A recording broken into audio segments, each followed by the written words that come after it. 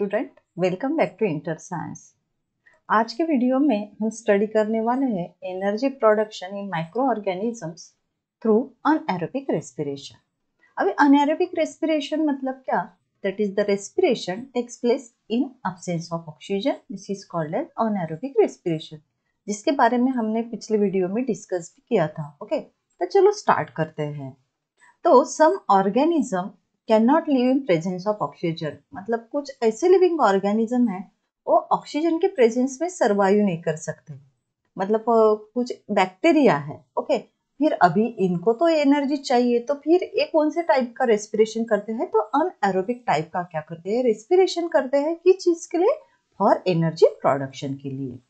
अभी जब anaerobic respiration होता है तो यहाँ दो दो स्टेप होते हैं। कौन सी? पहली होती है ग्लाइकोलिसिस और देखो, हमने एरोबिक रेस्पिरेशन के बारे में पिछले वीडियो में डिस्कस किया था, तभी भी मैंने तुम लोगों को बताया था कि ग्लाइकोलिसिस ये जो फ़र्स्ट स्टेप है, ये दोनों भी मतलब एरोबिक और अनएरोबिक रेस्पिरेशन के लिए कैसे कॉमन है। तो अनएरोबिक रेस्पिरेशन में भी पहली स्टेप है ग्लाइकोलिसिस और दूसरी जो होती है फर्मेंटेशन होती है। और ये जो होती है अनएरोबिक रेस्पिरेशन इसमें ग्लूकोज का जो ऑक्सीडेशन होता है, ये कम इनकम्प्लीट होता है। जैसे एरोबिक रेस्पिरेशन में कंप्लीट ग्लूकोज क्या होता है? ऑक्सीडाइज होता है। और इनकम्प्लीट होने की वजह से that is in anaerobic respiration glucose is completely oxidise that's why less amount of energy is obtain in anaerobic respiration only two ATP हमें मिलते हैं ड्यूरिंग अनएरोबिक रेस्पिरेशन से। लेकिन एरोबिक रेस्पिरेशन में 38 एटीपी के मॉलिक्यूल मिलते हैं। अभी देखो क्या होता है। Pyruvic acid produce to glycolysis मतलब ड्यूरिंग ग्लाइकोलिसिस जब ग्लाइकोलिसिस होगा ग्लूकोज का तो पायरेवेट मिलता है ग्लूकोज सिक्स कार्बन कंपाउंड है तो पायरेवेट थ्री कार्बन कंपाउंड है। अभी जब अनएरोबिक रेस्पिरेशन होगा that is without oxygen that is in absence of oxygen it converted into ethyl alcohol मतलब कुछ ऑर्गेनिक एसिड फॉर्म होता है और कुछ अल्कोहल फॉर्म होते हैं, जैसे इथाइल अल्कोहल मिलेगा ओनली टू एटीपी मिलेगी। दैट इज़ द एनर्जी देखो कैसे कम मिलती है इसमें और इसी प्रोसेस को टोटल प्रोसेस को क्या बोला जाता है? Fermentation then some higher plant animal and anaerobic microbes मतलब जो एनिमल या कुछ प्लांट हमेशा एरोबिक रेस्पिरेशन करते हैं। That is presence of oxygen कभी कभी क्या करते हैं they also perform anaerobic respiration ये भी अनएरोबिक रेस्पिरेशन करते हैं। लेकिन कब करते हैं? If there is depletion in oxygen level in surrounding मतलब अगर ऑक्सीजन की लेवल कम हो गई तो इनको भी अनएरोबिक रेस्पिरेशन करना पड़ता है। फॉर एग्ज़ाम्पल हम सीड का एग्ज़ाम्पल लेते हैं। Seed also perform anaerobic respiration कौन से कंडीशन में? If soil is submerge under water during germination मतलब जर्मिनेशन मतलब जब सीड से सीडलिंग या उससे स्प्राउट फॉर्म होते हैं तो उनको क्या करना पड़ता है? अनारोबिक रेस्पिरेशन करना पड़ता है। अभी देखो, हमारी कुछ मसल या सेल भी क्या करती है? अनारोबिक रेस्पिरेशन करती है लेकिन कब करती है? ड्यूरिंग विगरस एक्सरसाइज या हमने ज़्यादा वर्कआउट कर लिया, तभी भी हमारी मसल क्या करती है? अनारोबिक रेस्पिरेशन करती है। Due to this less amount of energy produce in our body और उसी वजह से देखो, हमेशा अनएरोबिक रेस्पिरेशन से अमाउंट ऑफ़ एनर्जी बहुत कम मिलती है। तो ग्लूकोज का ग्लाइकोलिसिस होगा और पायरोवेट फॉर्म होगा। अभी इन अब्सेंस ऑफ़ ऑक्सीजन हमारे मसल में लैक्टिक एसिड फॉर्म हो जाता है और हमें मिलती है ओनली टू एटीपी के molecule in the form of energy और लैक्टिक एसिड एक्यूमुलेट हो जाने के कारण हमारे मसल में क्या होता है? यहाँ we feel tired during vigorous exercise अभी इसके ऊपर हॉट का क्वेश्चन भी पूछा जाता है, क्या है? तो देखो why cramps are form in our legs during vigorous exercise क्यों ऐसा होता है? Due to accumulation of lactic acid in our muscle that's why cramps are form in our legs okay तो ये हॉट का क्वेश्चन इसके ऊपर से पूछा जा सकता है। Then energy for different food component तो जैसे जब फ़ूड के जो डिफरेंट कंपोनेंट है, जैसे प्रोटीन्स है विटामिन है फैट्स है मिनरल्स है carbohydrate this are the component that is the nutrients of the food excess of carbohydrate अगर हमने ज़्यादा कार्बोहाइड्रेट ले लिया तो ये कहाँ स्टोर होता है? इन लिवर एंड मसल में मतलब extra carbohydrate store in liver and muscle in the form of glycogen ये ग्लाइकोजन के फॉर्म में क्या होता है? हमारे इसमें लिवर में और मसल में ये स्टोर हो जाता है। अभी एक क्वेश्चन है what is the source of protein protein के मेन सोर्स क्या है? तो मिल्क है चीज़ है मीट है बीन्स है these are the source of proteins okay अभी प्रोटीन कैसे बना हुआ होता है? तो protein is nothing but a chain of amino acid तो इसका आंसर हम लिखेंगे चेन ऑफ़ अमाइनो एसिड तो ये दोनों भी क्वेश्चन के आंसर तुम लोग अपने बुक में लिख लो। अभी प्रोटीन क्या है? Protein is the macro molecule micro नहीं, मैक्रो मतलब बड़ा। तो ये कैसे फॉर्म होता है? Which is form by the bonding together mainly amino acid अभी ये बॉल लाइक स्ट्रक्चर दिख रहे हैं ना? दिस आर अमाइनो एसिड अभी ये जो लाइन है this are the bond this bond is called as the peptide bond मतलब जो अमाइनो एसिड होते हैं एक दूसरे के साथ कैसे लिंक करते हैं? तो ये लिंक करते हैं पेप्टाइड बॉन्ड से। And this protein of amino acid this is called as first class protein इसके ऊपर भी हॉट का क्वेश्चन पूछा जा सकता है कि why protein of animal origin are called first class protein क्यों बोला जाता है? तो इसका हम चार पॉइंट लिखेंगे। तो देखो, पहला है डिलीशियस इन स्टेट टेस्ट जो नॉनवेज खाते हैं, उनको मालूम है। तो इसकी टेस्ट अच्छी होती है cheaper in market easily available होती है। इसमें rich in essential amino acid इसमें जो अमाइनो एसिड हमारे बॉडी को चाहिए, वो होते हैं एंड इजीली डाइजेस्टेबल मतलब ये वेजिटेबल से भी देखो मीट ना बहुत इजीली डाइजेस्ट हो जाता है क्योंकि इसमें प्रोटीन्स होते हैं। और हम जो वेजिटेबल्स में मतलब जो हम खाते हैं एक्ट एज प्लांट्स का मतलब फ़ूड खाते हैं वेजिटेरियन जो है तो वेजिटेबल इजीली डाइजेस्ट नहीं होते क्योंकि उसमें फाइबर्स होते हैं ओके अगर हमने वन ग्राम प्रोटीन कंज्यूम किया तो we get four kilo calorie energy ख्याल में रखना कि we get four kilo calorie energy per gram of protein अभी amino acid are obtain different digestion of protein तो देखो अभी अमाइनो एसिड प्रोटीन का अगर डाइजेशन हो गया तो हमें क्या मिलता है? अमाइनो एसिड मिलता है। And those amino acid are absorb in body मतलब ये हमारे बॉडी में एब्सॉर्ब हो जाता है। तो कैसे एब्सॉर्ब होगा? To circulatory system via blood okay तो सपोज़ ये हार्ट है, और ये देखो, ये है लंग्स तो ये अमाइनो एसिड लंग्स में पहुँच जाएगा. उसके बाद, अभी यहाँ मैंने डाइजेस्टिव सिस्टम बताई है. तो ये देखो, ये स्टमक में भी चला जाएगा, ये लार्ज और स्मॉल इंटेस्टाइन में भी चला जाएगा. मतलब डिफरेंट ऑर्गन में ये चला जाता है ब्लड से, और ये सेल में भी चला जाता है. मतलब जब प्रोटीन का डाइजेशन होता है तो हमें अमाइनो एसिड मिलता है। और ये जो अमाइनो एसिड है, हर सेल के पास, हर टिश्यू के पास, हर ऑर्गन के पास क्या हो जाता है? ट्रांसफ़र किया जाता है थ्रू ब्लड मतलब सर्कुलेटरी सिस्टम से ये ट्रांसफ़र होते रहता है। फ्रॉम दोज अमाइनो एसिड अब ये जो अमाइनो एसिड हर सेल के पास, हर ऑर्गन के पास पहुँच गया है, organ and cell produce various protein मतलब देखो ये सेल है, इसमें देखो ये अमाइनो एसिड क्या हो गया? पहुँच जाएगा। अभी सेल क्या बनाएगी? डिफरेंट डिफरेंट प्रोटीन तैयार करेगी। ओके okay, अभी कौन से टाइप के जो हमारे बॉडी के लिए ज़रूरी है? मतलब which are necessary for them cell and the whole body तभी ये जो मैं डायग्राम आप लोगों को दिखा रही that is the protein and different amino acid ये आप लोगों के एग्ज़ाम के लिए बहुत बहुत इंपॉर्टेंट है पूछी जा सकती है। तो अमाइनो एसिड हमारे बॉडी में हमारे इसमें ब्लड में वगैरह कौन से प्रोटीन या सब्सटेंस है, कौन से प्रोटीन है? अमाइनो एसिड ये इसमें बताया गया है। स्किन में मेलानिन और कैरेटिन होता है बोन में ओसिन होता है सेल में डिफरेंट डिफरेंट प्रोटीन होते हैं सेल मेम्ब्रेन एंजाइम में।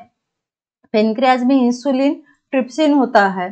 पिटोटरी ग्लैंड में डिफरेंट डिफरेंट ऑर्गन जो होते हैं, ये प्रोटीनियस ही होते हैं। मसल में एक्टिन और मायसिन नाम का प्रोटीन होता है, जिसको हम कॉन्ट्रैक्टाइल प्रोटीन भी बोलते हैं। ब्लड में हीमोग्लोबिन और एंटीबॉडीज होती है। अभी ये जो डायग्राम है ना बहुत इंपॉर्टेंट है, ये ख्याल में रखना है, इसके ऊपर क्वेश्चन पूछा जाता है। अभी कैन यू रिकॉल में क्या है? From where do we obtain lipid अभी लिपिड मतलब ऑयली सब्सटेंस या फैटी सब्सटेंस तो ये जो लिपिड होता है तो ये कहाँ से मिलता है हमें? अगर हमने कुकिंग ऑयल है बटर है एनिमल फैट्स इससे हमें लिपिड मिल जाता है। अभी लिपिड क्या है? What is lipid a substance form by specific specific chemical bond between fatty acid देखो फैटी एसिड और अल्कोहल के रिएक्शन के बाद क्या मिलता है? लिपिड जिसको ईस्टर भी बोला जाता है। अभी लिपिड कैसा होता है? इसकी कैरेक्टर क्या है? These are insoluble in water लेकिन सोल्यूबल किसमें है? ऑर्गेनिक सोलवेंट में। मतलब क्लोरोफॉर्म में सोल्यूबल है बेंजीन में सोल्यूबल है। और इसमें क्या आता है? लिपिड में क्या आता है? जैसे फैट्स है बटर है घी है, ये सभी में क्या होता है? लिपिड होता है। अभी digestion of lipid consume by us अगर हमने लिपिड ले लिया, इसका डाइजेशन हो गया तो क्या होगा? देखो, हमारे बॉडी में ये चला जाएगा and then converted into fatty acid मतलब लिपिड्स के डाइजेशन से ब्रेकडाउन के बाद इसके, इससे क्या मिलता है? फैटी एसिड और अल्कोहल मिल जाता है हमारे बॉडी को ओके देन अभी फैटी एसिड तो मिल गया, अभी फैटी एसिड एब्सॉर्ब बाय मतलब हमारे बॉडी में क्या होगा? पूरा एब्सॉर्ब किया जाएगा। And distributed everywhere within the body मतलब हमारे बॉडी में पूरा इसको एब्सॉर्प्शन हो जाएगा। अभी इस फैटी एसिड से क्या क्या बनता है हमारे बॉडी में? Different cell produce various substances for them cell for example molecule of जो फॉस्फोलिपिड है this phospholipid are essential for production of plasma membrane अब ये जो प्लाज्मा मेम्ब्रेन है, इसके प्रोडक्शन के लिए फॉस्फोलिपिड बहुत इसेंशियल है जो फैटी एसिड से बना हुआ होता है। Okay then this fatty acid also use for production of hormones जो हमारे बॉडी में ह्यूमन बीइंग के बॉडी में मेल रहे या फीमेल के बॉडी में जो हॉर्मोन्स है, उसके प्रोडक्शन के लिए भी फैटी एसिड इंपॉर्टेंट है, जैसे कौन कौन सा हार्मोन है? प्रोजेस्टेरॉन है इस्ट्रोजन है टेस्टेस्टेरॉन है अल्डोस्टेरॉन है।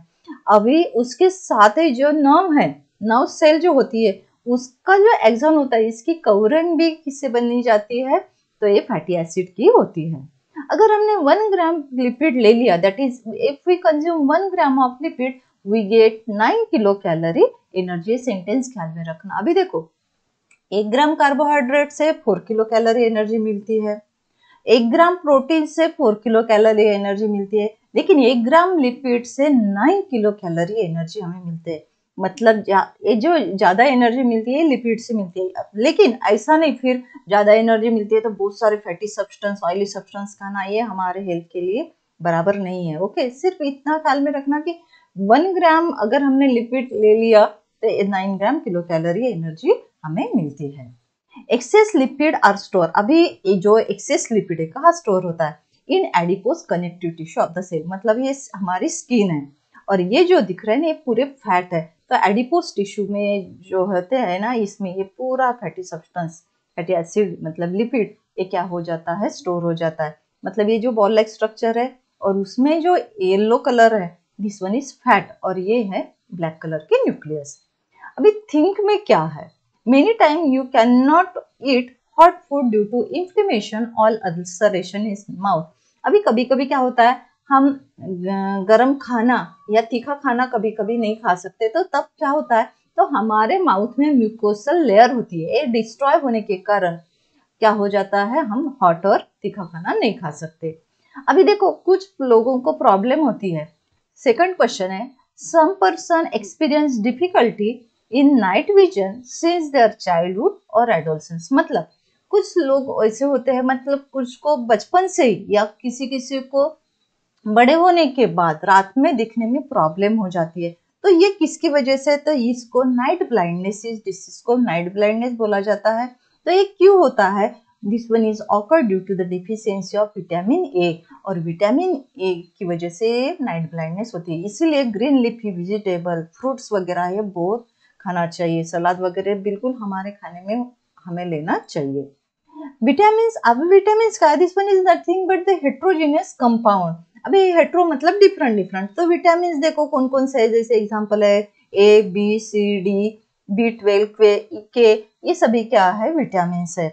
और विटामिन इसेंशियल क्यों है? To maintain the good health हमारी हेल्थ के लिए इसेंशियल है और उसके साथ ही जो डिसीज होते हैं, उसको प्रिवेंट करने के लिए भी विटामिन हमें लेना चाहिए। अभी मेन जो होते हैं विटामिन ये सिक्स टाइप के A B C D E and K उसमें से out of this A D E and K these are fat soluble तो रिमेनिंग जो है B and C these are water soluble अभी ये ख्याल में रखना, ये स्लाइड तुम लोगों के लिए बहुत इंपॉर्टेंट है ओके देन अभी F A D H two और N A D H two ये जो फॉर्म होते हैं ड्यूरिंग क्रेप साइकिल में वगैरह, हमने ये स्टडी किया है। तो एसिटाइल को एंजाइम ये में चला जाता है वाटर का मॉलिक्यूल मिलता है एन या फिर भी मिलता है, उसके साथ कार्बन डाइऑक्साइड भी मिलता है। मतलब ज्यूरिंग ग्लाइकोलिसी और क्लेप साइकिल में ये मिल जाता है। तो उसमें से देखो, vitamins like riboflavin, that is vitamin B2 and nicotinamide, vitamin B5 are necessary for their production. अभी हमारे बॉडी में टोटल जो होता है वाटर का परसेंटेज वो कितना होता है? 65 टू 70 परसेंट वाटर हमारे बॉडी में होता है, ख्याल में रखना। अगर हमने सेल की बात की तो cell also contain 70 percent of water 70 percent हमारे सेल में वाटर होता है। अगर, और देखो, हमारे बॉडी में ब्लड भी है तो ब्लड में भी देखो ब्लड दो पोर्शन से बना हुआ होता है। सॉलिड और लिक्विड और liquid portion of the blood this is called as blood plasma ख्याल में रखना कि ब्लड प्लाज्मा क्या है? Liquid portion of the blood अभी ब्लड प्लाज्मा जो होता है it also contain 90 percent of water मतलब ब्लड प्लाज्मा में मतलब जो लिक्विड पोर्शन है ब्लड का, उसमें भी 90 परसेंट क्या होता है? वाटर होता है। अगर देखो, अभी मैं तुम लोगों को बताया कि 65 टू 70 परसेंट वाटर हमारे बॉडी में टोटल बॉडी में होता है। अगर इसमें से कुछ लॉस हो गया वाटर का मतलब थोड़ा सा भी कम हो गया तो हमारा देखो जो ये है एक्टिविटीज़ है फंक्शनिंग होती है सेल की बॉडी की, ये क्या हो जाती है? डिस्टर्ब हो जाती है, हम प्रॉपर वर्क नहीं कर सकते। इसलिए दिन भर अच्छा बहुत सारा पानी भी पीना क्या है? बहुत ज़रूरी है वाटर लेवल मेंटेन करने के लिए बॉडी की। Hence water is essential nutrients पानी को भी क्या बोला गया है? इसेंशियल न्यूट्रिएंट मतलब जैसे हम बोलते हैं कि फ़ूड ज़रूरी है। ओके फ़ूड में जो न्यूट्रिएंट्स है, जैसे कार्बोहाइड्रेट प्रोटीन्स विटामिन मिनरल्स ये ज़रूरी है। उसके साथ ऑक्सीजन भी ज़रूरी है। उसके साथ वाटर भी क्या है? इसेंशियल न्यूट्रिएंट्स है।